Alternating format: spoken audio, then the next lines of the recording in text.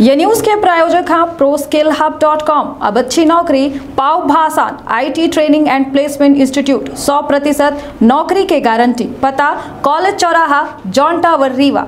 मध्य प्रदेश में धर्म के नाम पर टिप्पणी आम हो चुकी है। एक बार फिर से बागेश्वर धाम के पीठाधीश्वर धीरेन्द्र कृष्ण शास्त्री के बयान सोहियाबा जोने निमा साई बाबा के खिलाफ टिप्पणी की गई अब वो टिप्पणी के मामला बता दें कि कृष्ण शास्त्री के ऊपर महँगा पड़त दिखातला है। भाई मामले में बागेश्वर धाम के पीठाधीश्वर धीरेन्द्र कृष्ण शास्त्री के ऊपर एफआईआर दर्ज हो चुकी है। तो विंध्य क्षेत्र के पहल पघेरी न्यूज़ चैनल महम पूजा अपना पंचे सभी जन का प्रणाम कही थे, शुरू कही थे बड़ी खबर से। बता दें कि सिर्री वाले साईं बाबा के खिलाफ विवादित बयान दे व्यापार बागेश्वर धाम प्रमुख और पीठाधीश्वर धीरेन्द्र कृष्ण शास्त्री के खातिर मुसीबत मनत नज़र आवला है। इस संबंध में पंडित धीरेन्द्र कृष्ण शास्त्री के खिलाफ मुंबई में शिकायत दर्ज करवाई गई है। बता दें कि कल के उद्धव बाला साहब ठाकरे के युवा सेना की तरफ़ से केस दर्ज करवावे की मांग की गई उन्हें को बता दें कि साईं बाबा के खिलाफ बयान दे के कारण पंडित धीरेन्द्र कृष्ण शास्त्री के खिलाफ धार्मिक भावना आहत करे के आरोप लग रहे हैं।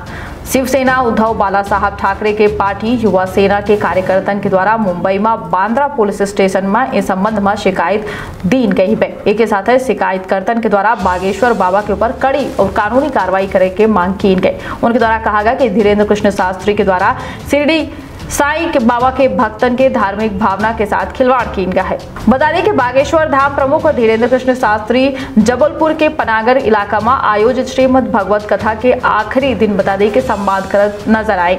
इस दौरान साईं बाबा की पूजा, आराधना के पद्धति को लेके एक श्रद्धालु के द्वारा जब सवाल पूछा गया तो इस पर उनके द्वारा जवाब के तौर पर धीरेन्द्र कृष्ण शास्त्री के द्वारा साईं बाबा का भगवान माने से इनकार कर दीन उनके द्वारा कहा गया कि हमारे धर्म में शंकराचार्य ने साईं बाबा को देवताओं का स्थान दिया ही नहीं।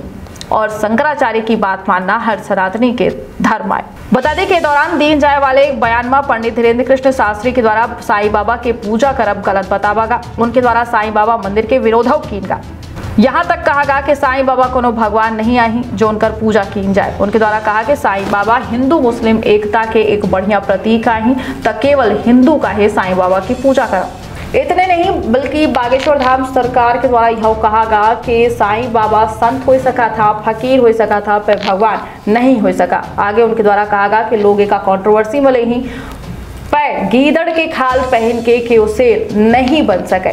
हालाँकि पूरे मामले को लेके धीरेन्द्र कृष्ण शास्त्री के खिलाफ एफआईआर दर्ज की जा चुकी है। अब देखने वाली बात यह हुई कि मामले में आगे कौन मेरे की कार्रवाई की जाती है पंडित धीरेन्द्र कृष्ण शास्त्री के खिलाफ। तो सजग रही और सतर्क रही रखिए आप और अपने परिवार के बहुत ख्याल दे इजाज़त पड़ा एनिमेशन विजुअल इफ़ेक्ट इन सभी में रोज़गार की अपार संभावना कल्पना और तकनीक का अद्भुत मेल। एरिना एनिमेशन अब सतना में।